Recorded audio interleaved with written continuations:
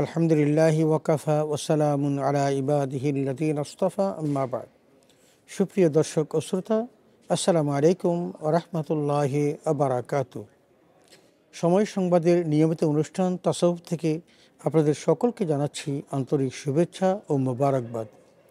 আজ আমরা কাফেরের পরিচয়, তাদের বৈশিষ্ট্য ও পরিণতি সম্পর্কে আলোচনা করব ইনশাআল্লাহ। আমরা সকলেই জানি যে যারা সত্য বিস্মৃত, যারা সত্যকে গোপন করে রাখে তারাই হলেন কাফের। যেমনটি কুফর শব্দের অর্থ হল ঢেকে রাখা, গোপন করা। আর পরিভাষায় যারা সত্যকে গোপন করে, তাদেরকে কাফের বলা হয়। আর ইসলামী শরীয়তের পরিভাষায় যে আল্লাহ এবং তার রাসুল, আসমানি কিতাব রাসুলগণ এবং পরকাল জীবন ফেরেস্তাকুল এই সকল কিছুকে যারা অস্বীকার করে, তাদেরকেই কাফের বলা হয়। আমরা জানি কাফের হলো মোমেনের বিপরীত আর যিনি মোমেন তিনি এই সকল কিছু বিশ্বাস করেন এই সকল কিছু মানেন যেমনটি পবিত্র কোরআনে আল্লাহ তালা এরশাদ করেছেন রাইসাল বির আং তুয়াল্লু উজু হাকুম কেবাল আল মশিক ওয়াল মগরিব ولكن البر من آمن بالله واليوم الآخر والملائكة والكتاب والنبيين এখানে আল্লাহ রব্বুল আলমিন বলছেন পূর্ব পশ্চিমে মাথা ঢুকালে ফিরলেই সে সত্যিকার ইমানদার হবেন এমনটি নয়, বরং ইমানদার তো হবেন তিনি, যিনি আল্লাহ এবং পরকালে বিশ্বাস করে, নবীদের প্রতি বিশ্বাস করে, কিতাবে বিশ্বাস করে ফেরেস্তাদের প্রতি বিশ্বাস করে, তারাই হলেন ইমানদার সুতরাং আমরা ইমানদারদের সংজ্ঞা বুঝতে পেরেছি, যারা এর প্রতি বিশ্বাস স্থাপন করবে, তারাই হলেন ইমানদার আর এর বিপরীত যারা করবেন, তারা হলেন কাফের। যেমন পবিত্র কোরআনের অন্যত্র আল্লাহ শাহরুহু স্পষ্ট বলেছেন ওমাইয়াকফুর ওমালাইকাতিহি ও কুতুবিহি ওয়ালিয়মিল আখের ফকাদ্দল্লা দলালাম বা ঈদা আল্লাহ বলছেন, যারা কুফুরি করে এবং আল্লাহকে অস্বীকার করে, পরকালকে অস্বীকার করে ফেরেস্তাদের অস্বীকার করে, কিতাবকে অস্বীকার করে, তারা দূরবর্তী গুমরাহির মধ্যে নিমজ্জিত থাকবে। এখানে আল্লাহ রব্বুল আলমিন দুই শ্রেণির কথা বলেছেন। এক শ্রেণি হলো ইমানদার আরেকটা শ্রেণি হলো কাফের। যারা বিশ্বাস করে, তারা হলেন ইমানদার আর যারা বিশ্বাস করে না, তারা হলেন কাফের। এই কাফেরদের সম্পর্কে আল্লাহ রব্বুল আলমিন যে কথাটি বলেছেন সেটা হলো, তারা অনাদি অনন্তকাল জাহান নামে জ্বলবে আর মুমিন যারা, তারা অনাদি অনন্তকাল জান্নাতে থাকবে।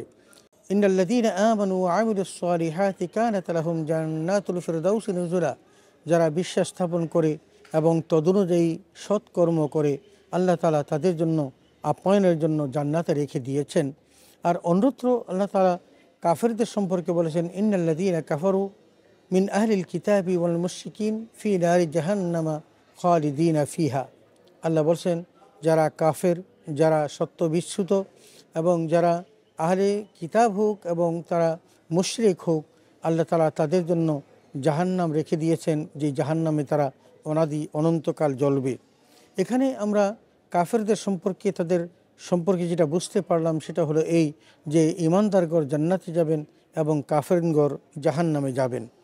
এই কাফের আবার দুই প্রকার, একটা হলো বড় কুপুরি যা মানুষকে ধর্ম থেকে সরিয়ে দেয় তথা ধর্ম বিচ্যুত হয়ে যায়। যেই কাজটি করলে সে ধর্ম বিচ্যুত হবে। আল্লাহ তালা সেই কথাটি বলেছেন যে, কুল আবিল্লাহি ও আয়াতিহি ও রসুলিহি কুমতুম তাস্তাহাসি উন যারা আল্লাহকে অস্বীকার করে, আল্লাহর আয়াতসমূহকে অস্বীকার করে এবং আল্লাহর কিতাবকে, রাসুলকে অস্বীকার করে, তারা আল্লাহর সাথে ঠাট্টা বিদ্রুপ করে, রাসুলদের সাথে ঠাট্টা বিদ্রুপ করে এবং ইমানদারদের সাথে ঠাট্টা বিদ্রুপ করে। এই সমস্ত মানুষগুলো সত্যিকার অর্থে আল্লাহর নবীকে বলেছেন যে, আপনি এদের সম্পর্কে জানিয়ে দিন যে, এরা এই বিদ্রুপের কারণে সত্য থেকে তারা বিচ্যুত হয়ে গেছে তথা তারা ধর্ম থেকে বেরিয়ে গেছে।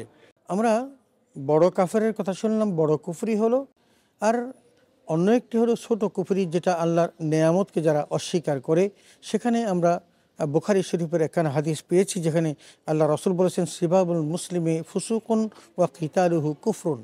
এই হাদিস দ্বারা যেটা বলতেন, সেটা হলো যে মুসলমানদেরকে যারা গালি দিবে, তারা হলেন ফাসেক এবং যারা মুসলমানদের সাথে প্রহার করবে, মারামারি করবে, তারা হলেন কাফের। আমরা দুটো সংজ্ঞা পেলাম, একটি বড় কুফুরির একটা ছোট কুফুরির সংজ্ঞা পেলাম। এখন আমরা কাফেরের বৈশিষ্ট্য সম্পর্কে আলোচনা করব।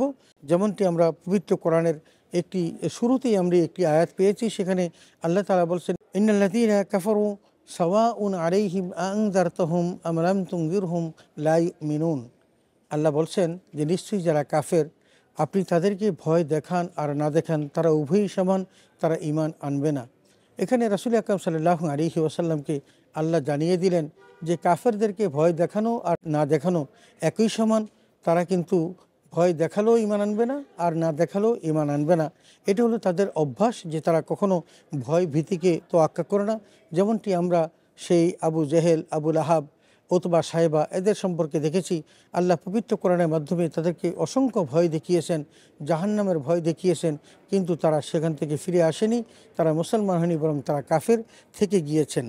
আরেকটি হলো খতামাল্লাহু আলা কুলুবহিম ও আলা সামিয়াহিম তাদের চক্ষুসমূহের মধ্যে আল্লাহ মোহর মেরে দিয়েছেন। ও আলা সামিয়াহিম ওয়ানা আবসারহিম গেসাওয়া এবং তাদের চক্ষুসমূহে আল্লাহ আবরণ দিয়েছেন যে তারা সত্যকে দেখতে পায় না। অন্তর দিয়ে তারা সত্যকে অনুধাবন করে না। দিনের কথা, আল্লাহর কথা, রাসুলের কথা, কোরআনের কথা তারা মানতে চায় না। আল্লাহ তাদের সম্পর্কে বলছেন, ওয়ালাহম আদাবুন আলিম। এবং তাদের সম্পর্কে বলছেন যে তারা মর্মন্তদ শাস্তি ভোগ করবে। তা আমরা সর্বশেষ যে বিষয়টা পাই সেটা হলো এই, আল্লাহ রবুল আলমিন কাফেরদের সম্পর্কে বলছেন ইন্দিন কাফারু লং তুগনিয়া আনহুম আমওয়ারুহুম ওয়ালা আউলাদুহুম মিনাল্লাহ শাইয়া আল্লাহ বলছেন যে এই কুপুর তাদের ধনৈশ্বর্য এবং সন্তান সন্ততি তাদের কোনো কাজে আসবে না, বরং তারা যেটা হবে, তারা হবে জাহান্নামের ইন্ধন হবে। আল্লাহ রব্বুল আলমিন তাদেরকে জানিয়ে দিয়েছেন, এই কুফুরি করার কারণে তাদের সন্তান সন্ততিও তাদের কোনো কাজে আসবে না, অর্থবিত্ত বৈভব কোনো কাজে আসবে না, বরং তারা জাহান্নামের ইন্ধন হবে এবং সেখানে তারা অনাদি অনন্তকাল জ্বলবে। আল্লাহ রব্বুল আলমিন আমাদেরকে কাফেরদের যে পরিচয়, কাফেরদের প্রকার এবং তাদের যে বৈশিষ্ট্য এবং সর্বশেষ তাদের যে পরিণতি, এই বিষয়গুলো উল্লেখ করে আমাদেরকে সাবধান হতে বলেছেন, আমাদেরকে আল্লাহর প্রতি ইমান আনতে বলেছেন, আমাদেরকে রাসুলদের প্রতি ইমান আনতে বলেছেন, আসমানি কিতাবের প্রতি ইমান আনতে বলেছেন, আমাদেরকে ফেরেস্তাকুলের প্রতি ইমান আনতে বলেছেন ফের আমাদেরকে পরকালীন জীবনের প্রতি বিশ্বাস স্থাপন করতে বলেছেন। এই বিশ্বাস স্থাপন করার মধ্য দিয়ে আমরা অর্জন করব জান্নাত। আর যদি সেটা না ঝুটে, আমরা যদি সেটা করতে না পারি, ব্যর্থ হই, তাহলে আমরা হব কু কাফের এবং সেই কুফুরির কারণে অনাদি অনন্তকাল জাহান নামে জ্বলতে হবে। আমরা এতক্ষণ পর্যন্ত কাফেরদের পরিচয়, তাদের প্রকার, তাদের বৈশিষ্ট্য এবং তাদের শেষ পরিণতি যে জাহান্নাম, এই বিষয়গুলো সম্পর্কে জানলাম। আমরা যেন কোনোভাবেই আমাদের কর্মের মধ্য দিয়ে আমরা এই জাহান্নামী হিসাবে অভিহিত না হই। এবং আমরা যেন জান্নাতি হতে পারি, আমাদের বিশ্বাস যেন আমরা অটুট রাখতে পারি, আমরা আল্লাহ, তার ফেরেস্তা তার তার নবী এবং আসমানি কিতাব, সেই সাথে আমরা ফেরেস্তাকুল জান্নাত জাহান্নাম, পরকালীন জীবন, এগুলিকে বিশ্বাস করে আমরা যেন সত্য মানুষ হিসাবে, সত্যাশ্রয়ী হিসাবে, মুমেন হিসাবে জান্নাত পেতে পারি। আল্লাহ তালা আমাদের সকলকে সে তৌফিকে দান করুন, আমিন। ওয়াকের দাওয়ান আলহামদুলিল্লাহ রবিল আলমিন। আসসালামু আলাইকুম ওরহমতুল্লাহি আবরাকাতু